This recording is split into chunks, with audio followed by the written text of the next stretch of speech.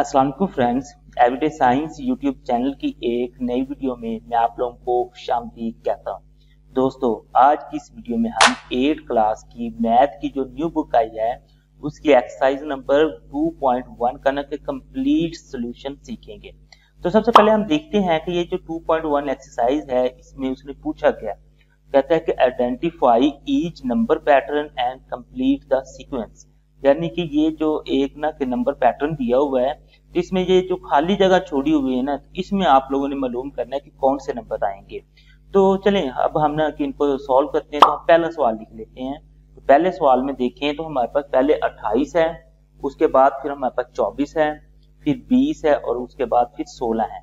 और ये दो हमारे पास खाली जगह छोड़ी हुई है तो हमने ये ना के मालूम करनी है कि ये यहाँ पे ना हमारे पास क्या आएगा। तो अगर हम देखें, सबसे पहले हमारे पास अट्ठाईस है तो अट्ठाईस से जब हम ना चौबीस पे गए हैं तो हमने चार माइनस किए। अब चौबीस से जब हम बीस में गए हैं तो फिर चार माइनस किए। बीस से जब हम सोलह में गए हैं तो फिर चार माइनस हुए हैं। इसका मतलब ये है कि ये जो नंबर पैटर्न है, इसमें ना कि जब भी हमने अगला हिस्सा कोई लिखना है तो उसमें हमने चार माइनस करके लिखना है। जैसे अगर हम पहले की बात करें तो ये माइनस चार करके हमने लिख दिया, अट्ठाईस में से चार करके लिख दिया, चौबीस हो गया। दूसरे की बात करें तो फिर माइनस चार करके लिखा तो हमारे पास बीस हो गया। फिर बीस में से माइनस चार करके लिखा तो हमारे पास सोलह हो गया। अब इस खाली जगह में अगर हम देखें तो इसका मतलब है कि सोलह में से माइनस चार करके लिखेंगे तो बारह आ गया। फिर बारह में से फिर हमने ना कि माइनस चार करके लिखेंगे तो हमारे पास आठ आ गया। तो अगर हम ये कंप्लीट जो सीक्वेंस है उसे लिखेंगे तो हमारे पास कुछ इस तरह से बन जाएगी। अट्ठाईस, चौबीस, बीस, सोलह और ये दो खाली जगह जो बारह और अठारह, आठ हो जाएगा। तो इस तरीके से आप लोगों ने सारे जो नंबर पैटर्न है ना, उनको सोचना है ये किस तरह से लिखे हुए हैं। तो उसी तरीके से उन्हें ना कि जो खाली जगह दी होगी, उसे आप लोगों ने पुर करना है। अब नेक्स्ट आए दूसरे सवाल पे।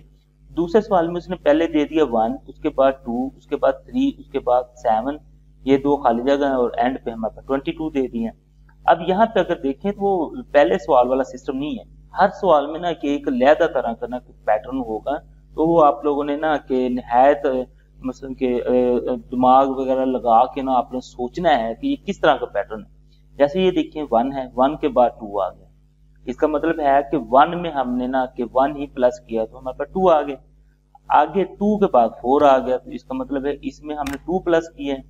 इसमें हमने ना कि थ्री प्लस किया तो इसका मतलब है कि ये इस तरह का पैटर्न बन रहा है कि पहले आप लोग वन प्लस करें, फिर टू प्लस करें, फिर थ्री प्लस करें, फिर फोर प्लस करें, फिर फाइव प्लस करें, और फिर सिक्स प्लस करें। चले हम देखते हैं। सबसे पहले हमने इसमें करें तो प्लस वन हमने कर दिया तो वन प्लस वन हमारे पास टू आ गया।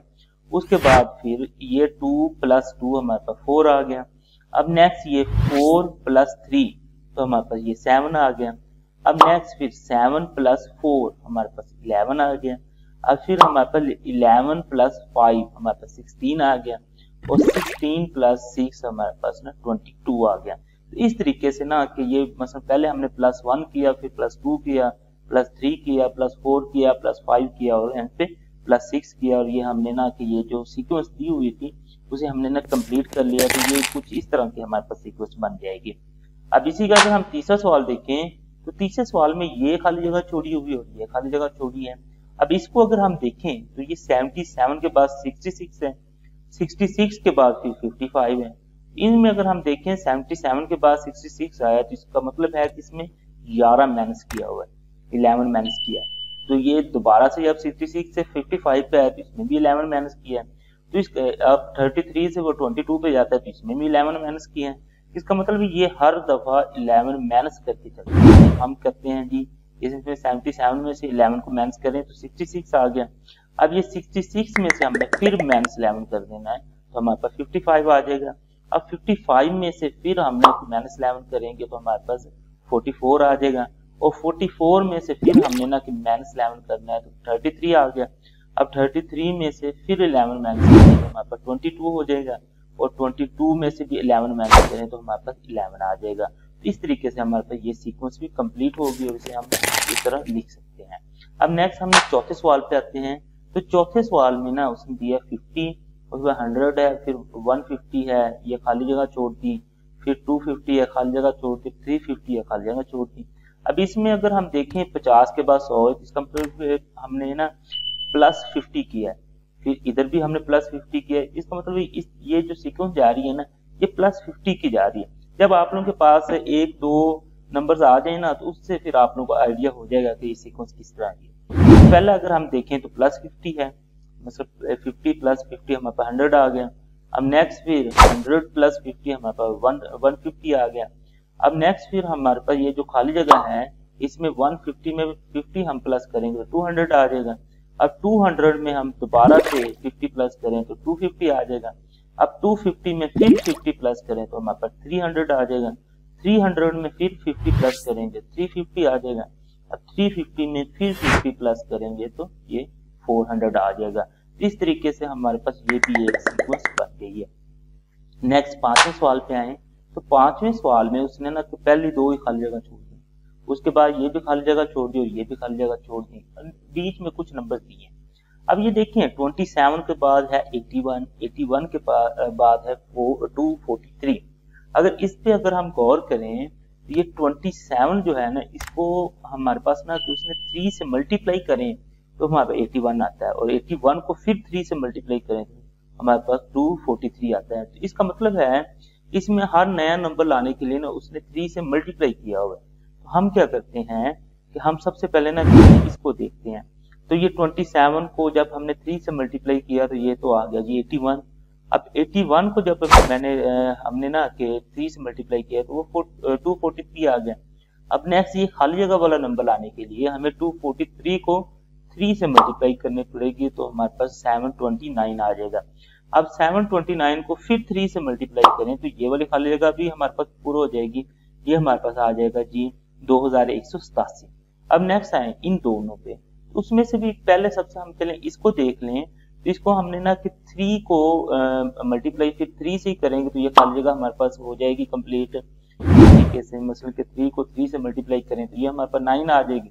और नाइन को थ्री से मल्टीप्लाई करें तो वो हमारे पास ट्वेंटी सेवन भी आ रहा है।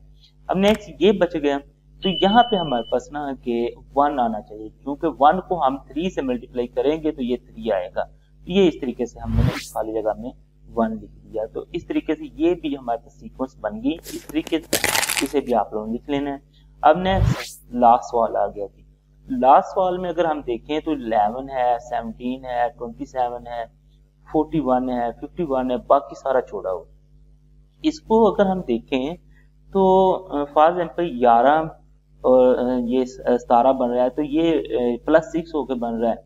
ये प्लस सेवन होके बन रहा है, ये खाली जगह छोड़ दी है आगे ये फोर्टी वन तो इसको हम ना चले एंड से ना सोचना शुरू करें तो ये मसलन के एक जा सीक्वेंस में रहा है तो मसलन के ये अगर सिक्स है तो उसके बाद ये सेवन है। इसमें एट आ जाएगा, इसमें नाइन आ जाएगा, इसमें टेन आ जाएगा। हम इधर से शुरू कर लेते हैं। हम क्या करते हैं कि यहाँ से ना फिफ्टी वन से फोर्टी वन पे अगर अब हमने आना है तो हमें टेन को माइनस करना पड़ेगा। अब नेक्स्ट अगर हमने इस खाली जगह वाला नंबर लेके आना है, इसका मतलब यहाँ पे माइनस टेन था यहाँ पे माइनस नाइन आना चाहिए। तो हम 41 में से जब माइनस नाइन करते हैं तो हमारे पास थर्टी टू आ जाता है। अब नेक्स्ट फिर हमारे पास माइनस एट आना चाहिए। माइनस एट करते हैं तो हमारे पास ट्वेंटी फोर आ जाता है। नेक्स्ट फिर हम ना माइनस सेवन करते हैं तो सेवनटीन आ जाता है। माइनस सिक्स करते हैं तो इलेवन आ जाता है। माइनस सिक्स के बाद फिर हमारे पास माइनस फाइव आएगा। तो इसमें से माइनस फाइव करेंगे तो हमारे पास सिक्स आ जाएगा। और इसमें से फिर माइनस फाइव के बाद हमारे पास माइनस फोर आएगा।